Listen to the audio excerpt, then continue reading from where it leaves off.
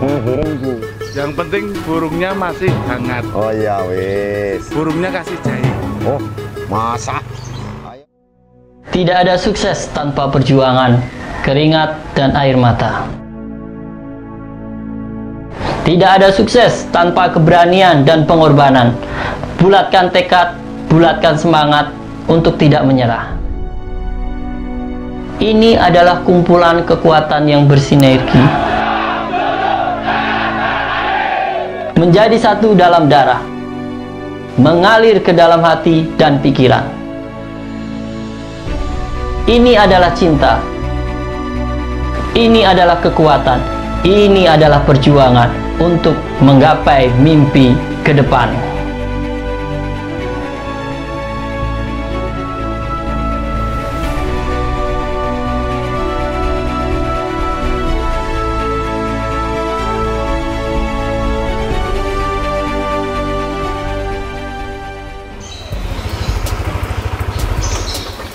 Waduh, hujan terus nih. Gimana jemur burung nih? Harus jemur di mana? Nggak ada matahari, sinar matahari. Lalu lagi hujan begini. Dah. Mudah-mudahan ada solusi untuk burung saya supaya nggak termenung dan nggak kedinginan badannya supaya kuat gimana ya? Ah, udahlah. Oh, Pak Sep.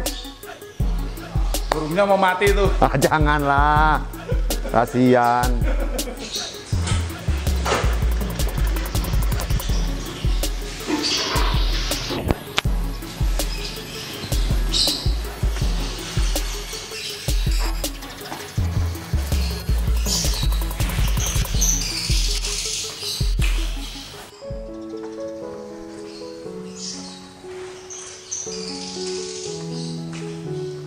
Ngapain, Pak? Oh, Pak Iwan ini lagi bikin racikan untuk eh, tambahan menu untuk lobet kalau di musim hujan. Pak Iwan lagi apa? Ini Pak nggak ada sinar matahari nih. Hah? Gimana nih lakukan supaya apa mau dijemur nggak susah? Oh, nah kebetulan Pak Iwan di video kali ini saya mau bikin racikan tambahan makanan untuk lobet Pak Iwan dalam musim hujan. Ya wes, ayo bantuin Pak Iwan biar tahu caranya gimana. Pakai apa Pak itu Pak?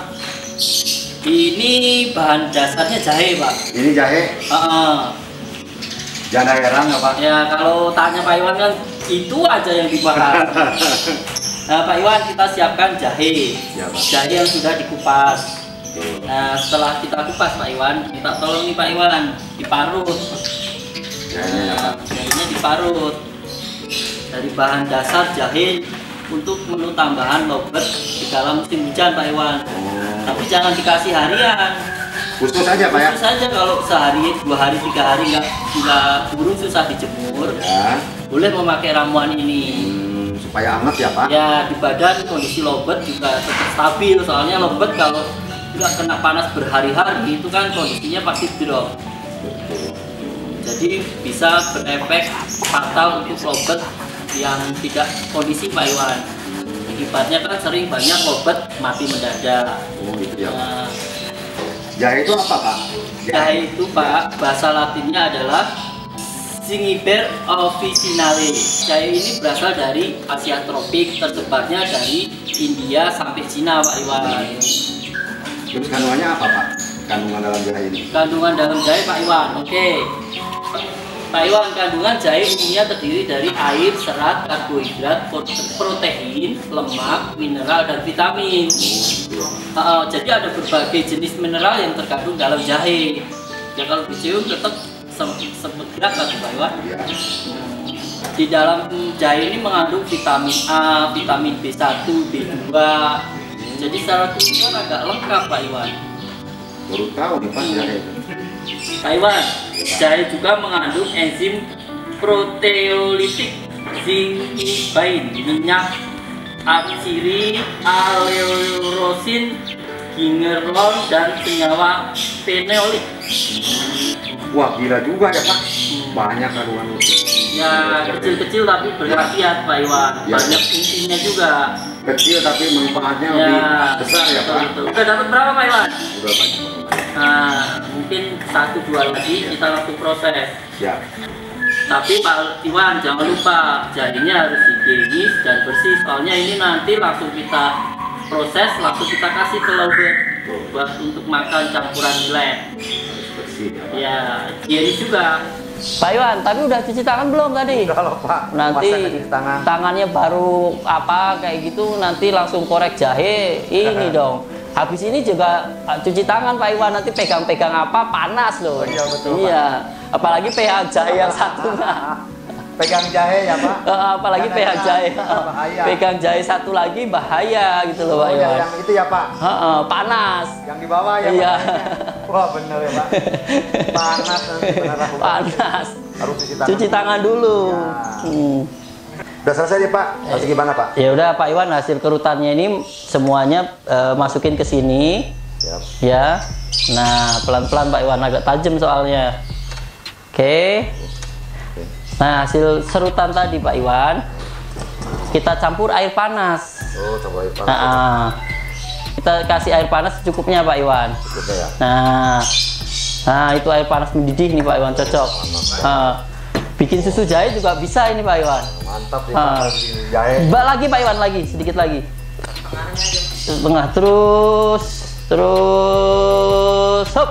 Nah, Bikin Nah. jahe tambah gereng ya Pak. iya tambah gereng. Mantap. Tapi durasi nggak bisa nambah jahe Pak, panas. Bener Pak. Terus Pak Iwan, jahe sudah direndam. Hmm, kalau sudah Pak Iwan, Ya. kita campurkan dengan millet. Millet terbaik dari kita Pak Iwan. Nah, millet raja. Nah, ini kita aduk.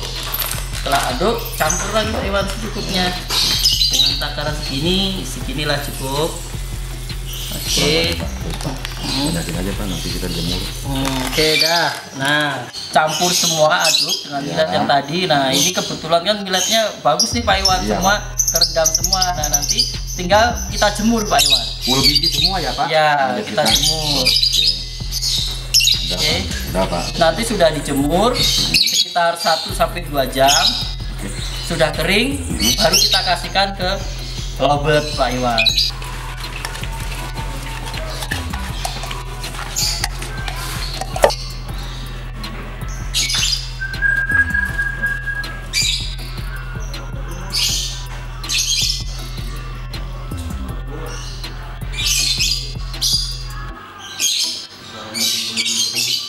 Two hours later.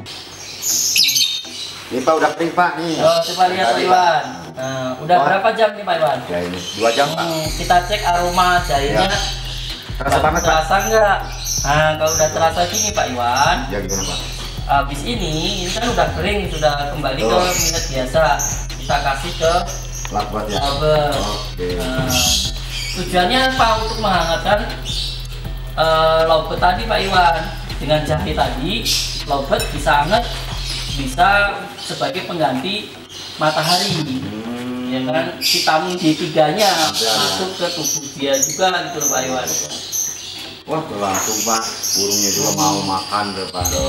Aduh mau gigit aja mau. Es, jangan dong. Nah, itu Pak Iwan langsung lahap dimakan. Oh bener ya Pak. Hmm, jadi ini adalah menu makanan yang menu tambahan yang dipakai di dalam musim Hujan. hujan. Sehari dua hari nggak ada hujan bisa alternatif memakai campuran pakan ini Pak Iwan. Jangan dipakai harian, kalau dipakai harian kurang bagus. Kalau Ryan raja milik aja ya tetap millet polos aja Pak Iwan. Oh bro, demikian video kita tentang menu tambahan dari Chef Excellent untuk lobet di kala musim hujan. Menu tambahan tadi dengan mencampurkan jahe dengan air panas dicampur millet dan dikeringkan itu bisa berfungsi menambah eh, daya tahan tubuh lobet untuk menghangatkan tubuh lobet itu sendiri. Jadi dikala musim hujan sampai tiga hari lobet kita tidak ngedrop Pak Iwan. Tetap stabil ya Tetap Pak. stabil. Kerja Itu ya itu menu tambahan tapi jangan dipakai buat harian ya Om Bro. Oke Om Bro, begitu tadi liputan video kita tentang menu tambahan pakan lobet. Semoga bermanfaat untuk ombro-ombro semua. Eh, jangan lupa like, subscribe, juga komennya ya. Dan jangan lupa nyalakan terus tombol notifikasinya agar terus update video-video terbaru dari kita Pak Iwan. Oke Om Bro, terus dukung channel Prio Excellent agar terus memberikan informasi menarik seputar dunia kicau. Salam Excellent. Tidak ada sukses tanpa perjuangan, keringat, dan air mata. Tidak ada sukses tanpa keberanian dan pengorbanan. Bulatkan tekad, bulatkan semangat untuk tidak menyerah. Ini adalah kumpulan kekuatan yang bersinergi. Menjadi satu dalam darah. Mengalir ke dalam hati dan pikiran. Ini adalah cinta. Ini adalah kekuatan. Ini adalah perjuangan untuk menggapai mimpi ke depan.